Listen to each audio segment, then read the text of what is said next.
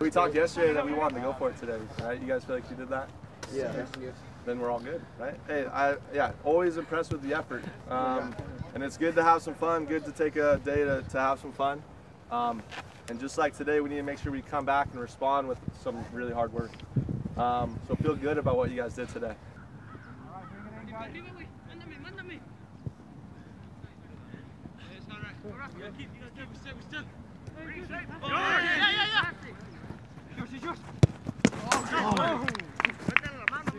Good for now. Hey, good for now is fine, but not good forever, right? Let's uh, keep keep pushing to move forward.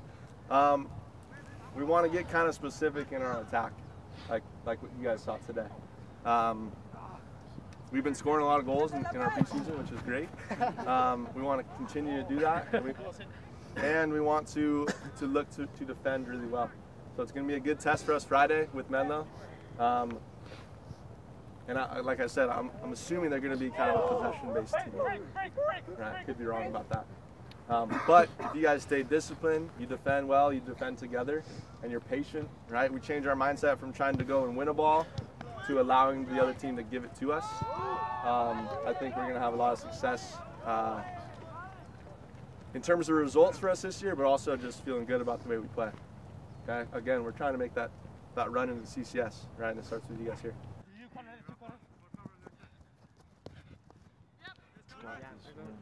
Come on, three! One, two, three! Harbor!